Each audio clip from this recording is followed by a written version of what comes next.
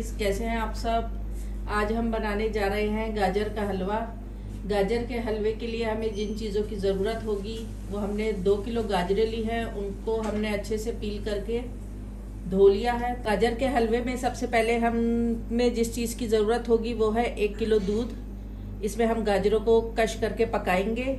उसमें तकरीबन हमने दो कप चीनी ली है, एक पाव खोया लिया है, और गार्निशिंग के लिए पिस्ते, बादाम और इलायची पाउडर। अब हम अपनी सारी गाजरों को कद्दूकश करके दिखाते हैं।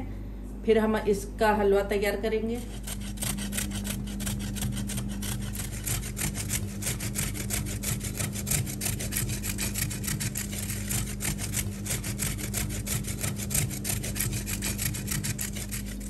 ये सारी गाजरें हमारी अच्छे से कद्दूकश हो गई हैं। अब हम इसे ऑयल में फ्राई करेंगे। हमने चूल्हे पे कढ़ाई रख दी है और इसमें तकरीबन हम डेढ़ कप ऑयल का इस्तेमाल करेंगे। आप इसमें असली घी भी डाल सकते हैं, लेकिन हमने ऑयल लिया है। ऑयल हमारा अच्छे से गर्म हो गया।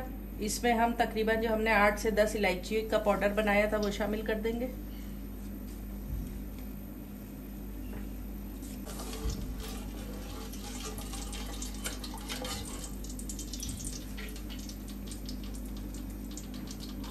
अब इसमें ये हम अपनी गाजरें डाल देंगे और इसमें अच्छे से फ्राई करेंगे ऑयल में।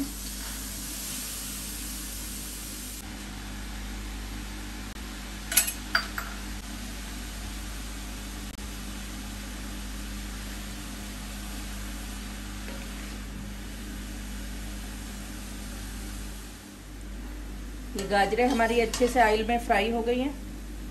इनका तकरीबन पानी भी खुशक हो गया है। अब इसमें हम अपना तकरीबन एक किलो दूध शामिल करेंगे।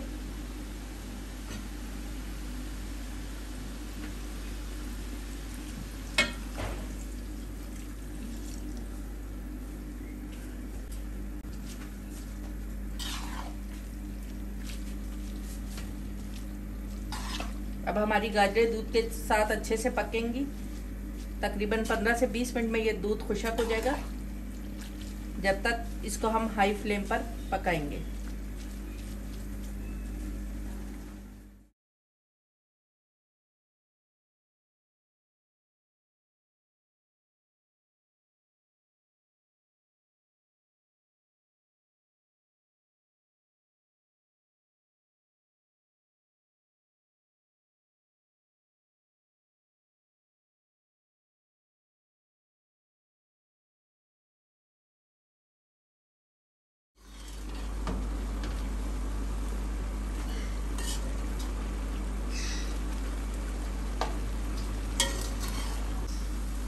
अब ये देखें, हमारा दूध तकरीबन खुशक हो गया है और गाजरें अच्छे से पक गई है इसमें। अब हम इसमें चीनी चीनी शामिल करेंगे।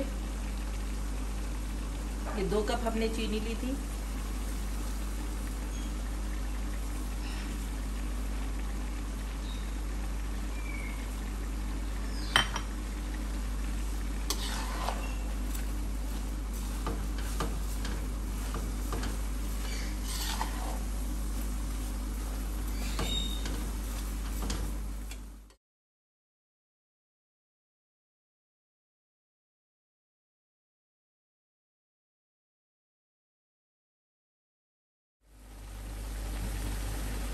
चीनी का पानी तकरीबन खुशक हो गया है। अब हम इसमें तकरीबन एक कप के करीब खुशक दूध डालेंगे। इससे हलवे का टेस्ट बहुत बेहतरीन आता है।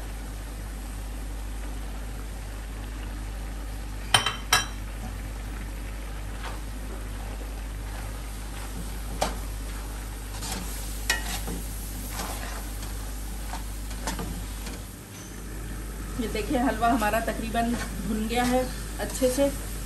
बस थोड़ा सा एक पाँच मिनट और इसकी हम बुनाई करेंगे ताकि ऑयल अच्छे से आ जाए। फिर हम इसको डिश आउट करके दिखाते हैं।